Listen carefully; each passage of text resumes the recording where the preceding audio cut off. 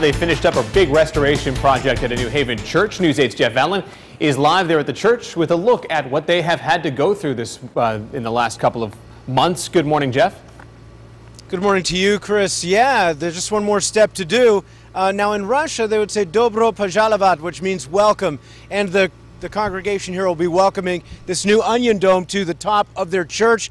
It is the uh, Russian Orthodox Holy Transfiguration Church. Now, the dome that was up there on top was transfigured about a year ago with all the stormy weather we had, remember last year, and uh, so it needed quite a bit of uh, an overdue. Well, this is actually newer, stronger, and of course, even more beautiful because the old one had uh, a less uh, less traditional look with sort of horizontal slats on the facing of it. And this one has these copper plates, some 400 of them, all diamond shaped, on the skin of this new uh, dome that'll be going up about 7 o'clock this morning, so uh, just a little more than a half an hour is the scheduled time when the crane will start lifting this five ton onion dome to the top of this uh, church here on Alden Avenue in New Haven. That's where we are live. Jeff Vallon, News 8.